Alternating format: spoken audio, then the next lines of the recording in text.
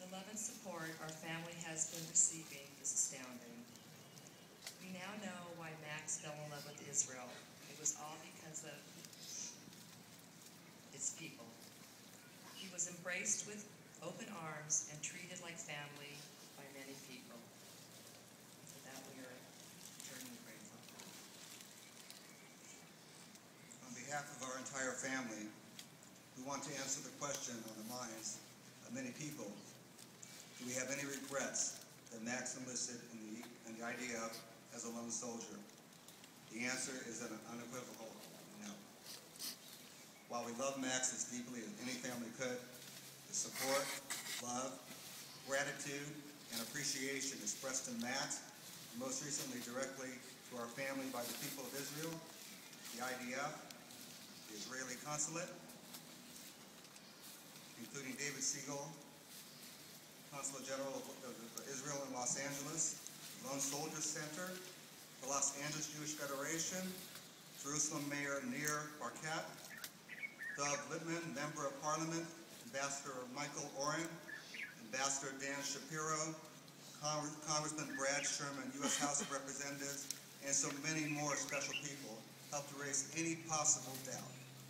Congressman Sherman said, our son's loss of life was attributed to the cause of the state of Israel and to the United States of America. On Sunday at approximately 8 a.m., July 20th, three wonderful, respectful, and kind representatives of the Israeli consulate at Los Angeles arrived at our home. They shared the horrific news that Max was killed during his mission into Gaza. They embraced us and provided us with as much comfort as humanly possible under the circumstances. We initially said that we wanted to bring our son back home to Los Angeles. After further thought, we came to realize that was our selfishness. I just wanted him near me and wanted me to go see him every day if I needed to. But after being in Israel and seeing all the love and support and how he is treated and remembered here, we decided that Max needed to remain in Israel, no longer the lone soldier, forever at his home. That the Israeli people would honor him for his sacrifice and provide him with the lasting respect he deserves. Mission accomplished. As Jews, we are in awe of what Max achieved from the moment he said, I am returning to Israel. As parents, we are filled with joy and pride for the man that our son became and the life that he lived.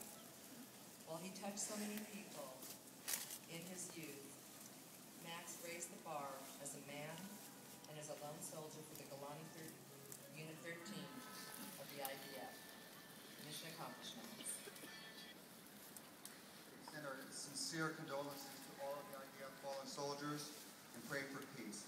To our beloved son, may your memory burn everlasting in the hearts of your friends here in Israel, as it will